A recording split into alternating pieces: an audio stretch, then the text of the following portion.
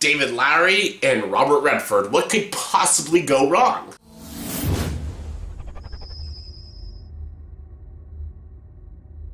Hey everyone, welcome to the review. Here's my review for the movie The Old Man and the Gun. Yes, The Old Man and the Gun stars Robert Redford, Sissy Spacek, Danny Glover, Casey Affleck, and Elizabeth Moss, and this movie is directed by David Lowery, the guy who gave us great films. Yes, he is like hitting it out of the park with every film he fucking makes. He's made, uh, he directed uh, Pete's Dragon, Ain't Them Body Saints, A Ghost Story, great films.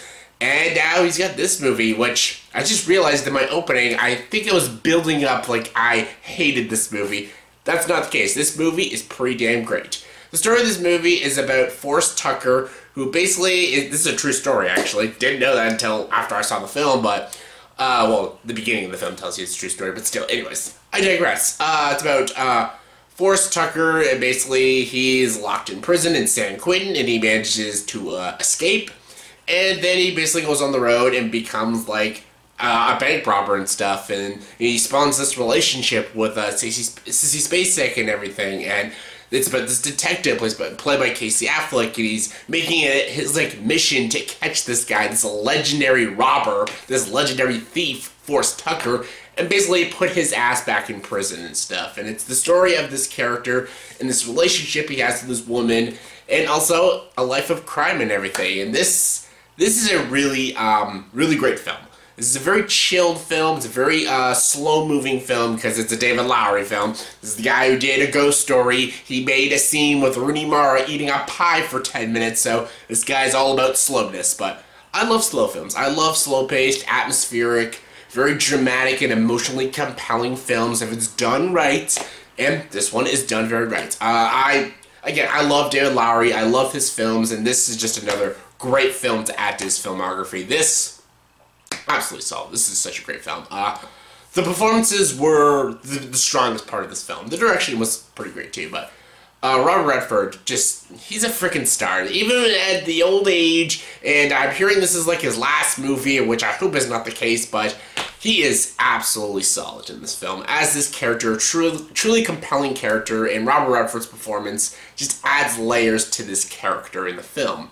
And his chemistry with Sissy Spacek is absolutely top notch, and I thought he was fant fantastic in this film. Like, he's not just the Sundance kid; he's just an all-around great actor. Like, even in when he did the movie All Is Lost, he is so great in that film, and even at an old age, he still knocks out of the park. He's not like Robert De Niro, who plays all these shitty cash grab roles like fucking Dirty Grandpa. This is a true actor, Robert Redford, and he shows his chops in this film. Everyone gives a great performance. Sissy Spacek is fantastic. Elizabeth Moss is good. Uh, Danny Glover's good. Casey Affleck is really solid as this detective. This very ambitious and very like just this determined detective that is just really after this guy and he really wants to put this guy back into prison and stuff. He's all about the right and stuff. And Casey Affleck is usually great in all of David Lowery's films. He's played in almost all of them but Pete's Dragon and he's great. Just he's such a good actor. And yes, I'm not going to talk about any controversy with Casey Affleck, but still, he's great in the film. And the, the direction is so solid. D David Lowery is all about slowness and atmosphere, and there's a lot of it in this film. And it's only like a 95 minute film, but a lot of people would probably find this movie really, really boring. And if you're if you know David Lowery's work, you should know what you're getting in for, but I think a lot of people would find this movie a bit dull, a bit boring, a bit mind-numbing and stuff. They're like, oh, what's the point of this and everything? But honestly, there's a lot of things, a lot of scenes in this movie that are very emotional, very compelling, and they really need slow moments to develop the characters, develop the relationships, and, and just to bring you into this setting, into this time period and stuff, and I think it's done really well. I thought the direction was absolutely solid, and I thought the writing was also really strong too, with the characters, with the dialogue, and the storytelling. I think it was all done really, really well. I also love the score for this film too. It's really simplistic but very nice score. I think this is an all terrific film. My only nitpick is at times there's scenes in this movie that come off a bit condescending, and there's just scenes that are not needed, and they're just there to be I guess, artistic and stuff, and it just wasn't needed. And there's just scenes that, again, were a bit condescending, which I did not like.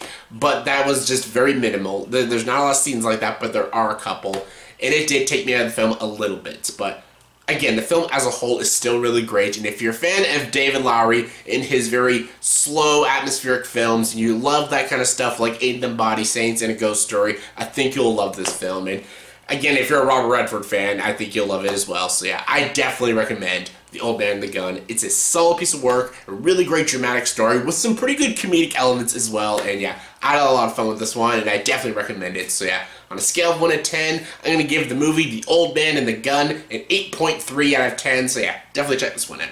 So yeah, that was my review for the movie The Old Man and the Gun. So in the comment section below, please tell me what is your favorite movie directed by David Lowery. Yes, your favorite movie directed by David Lowery. My favorite is actually A Ghost Story. I freaking love that movie. Some people thought it was so pretentious, so just boring and hammy. It's a complete waste of time and stuff. Some people just did not like A Ghost Story, but I really enjoyed it. That's my favorite. But what is your favorite? Comment below, let me know. And as always for this video, please subscribe to this channel and join the dark side.